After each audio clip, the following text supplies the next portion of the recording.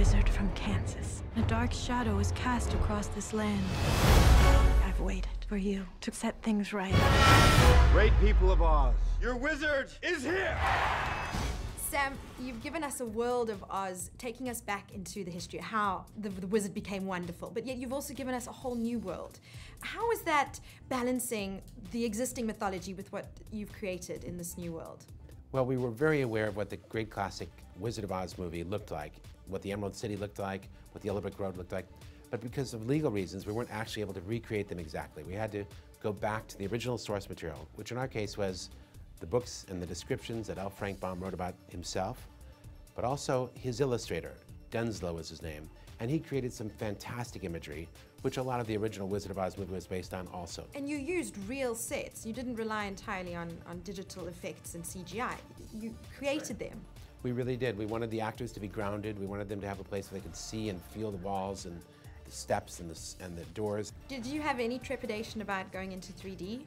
a lot because originally I didn't really like 3D. I had been, I had seen some bad 3D movies that gave me kind of a headache, but I went to 3D school and I learned how it works and how to put it together. How hard could it be to kill a wicked witch?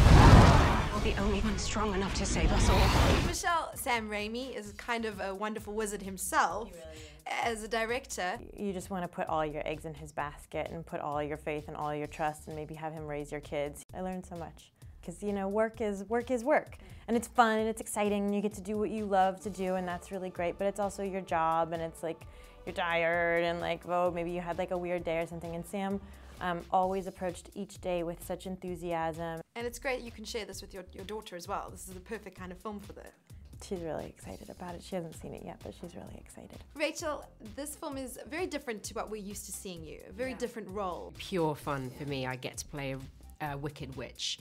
Um, it's not set on planet Earth, it's set in the Emerald City. I can fly, I can shoot lightning bolts out of my fingers. I'm very, very, very evil, and my character really enjoys being evil.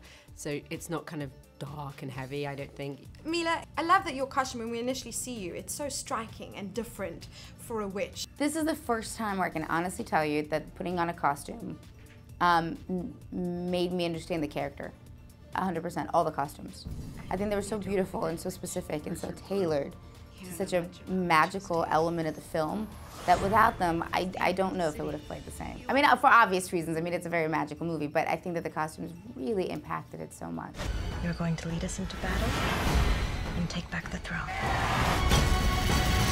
We're going to need everyone to believe. James, this story tells us about how the wizard became wonderful. For you, what does it take to become wonderful?